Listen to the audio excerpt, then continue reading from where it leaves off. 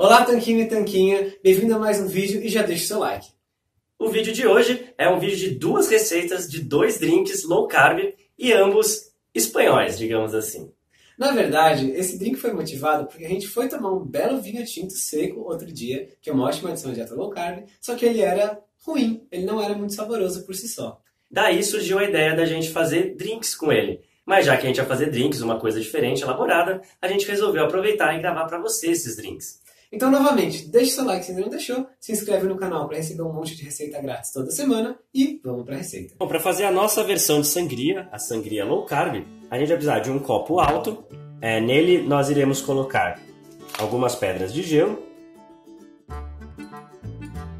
Vamos colocar uma colher de sopa de adoçante. No caso, a gente está usando xilitol. Uma dose de tônica diet sem açúcar você também pode utilizar água com gás, mas provavelmente vai ficar mais sem graça o drink.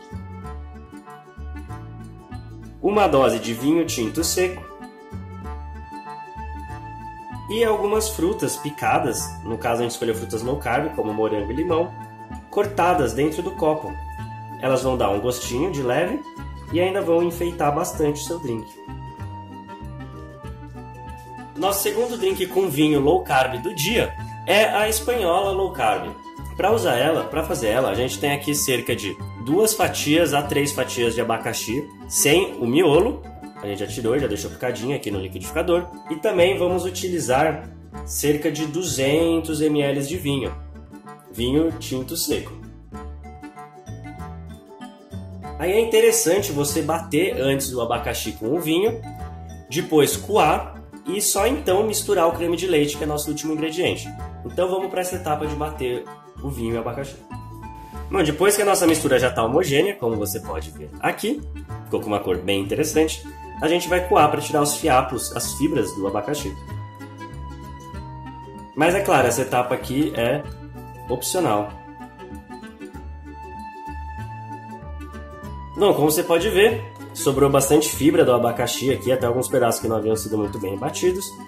Isso daqui a gente pode descartar agora, ou se você quiser comer de colher, fica à vontade. Agora, então a gente vai voltar é, o que sobrou aqui no, no recipiente, a gente vai voltar para o liquidificador e vai bater com o creme de leite. No caso, a gente vai utilizar cerca de 4 a 8 colheres de sopa, ou seja, entre um quarto e meia xícara. Aqui está o creme de leite. Nessa etapa, você também pode colocar um pouco de adoçante se você achar que é necessário. Mas eu acho que não é, porque o abacaxi já estava bem doce, o creme de leite já é docinho também. Então é só bater. Você pode adicionar gelo também agora, se quiser um efeito tipo frappé. Mas aí tem que tomar cuidado, quando o gelo derreter, seu drink vai ficar aguado. Os drinks feitos, rapidamente como você viu, é hora de provar. Saúde! Saúde! Muito gostoso. Esse drink, de fato, é típico espanhol. Na Espanha, se você for lá no verão, você pode encontrar ele sendo chamado de tinto de verano. E claro, às vezes vai uma fruta, às vezes vai outra, às vezes não vai nenhuma. Vale a pena variar as frutas. A gente usou aqui morango e limão, mas você pode usar abacaxi, laranja, enfim, o que a sua criatividade permitir. Já esse outro drink, não, provavelmente não é típico espanhol, mas tem o nome de espanhola. No caso, para deixar ele geladinho sem deixar ele aguado, a gente usou pedras de gelo de metal que a gente ganhou da nossa parceira New Chic. É legal, porque por ser um drink mais espesso, com creme de leite, usar as pedras normais de gelo poderia deixar ele aguado depois que elas derretessem e ele não ia ficar tão legal. Mas de toda forma ficou muito gostoso o drink, valeu a pena fazer, fica bem interessante essa dualidade entre o creme de leite e o vinho. Agora vamos trocar, quero provar esse drink com dualidade e o Rony vai provar esse que é muito refrescante para um dia de calor. Muito gostoso esse, bem cremoso, muito saboroso. É, esse daqui, por outro lado, bem refrescante, muito legal. E se você quiser mais receita de drink, tem um link aqui na descrição. Se você quiser saber mais sobre vinho, tem um vídeo aqui do lado para você. E a gente vai se vendo todas as semanas se você inscrever no canal, que dá pra fazer no tanquinho ali.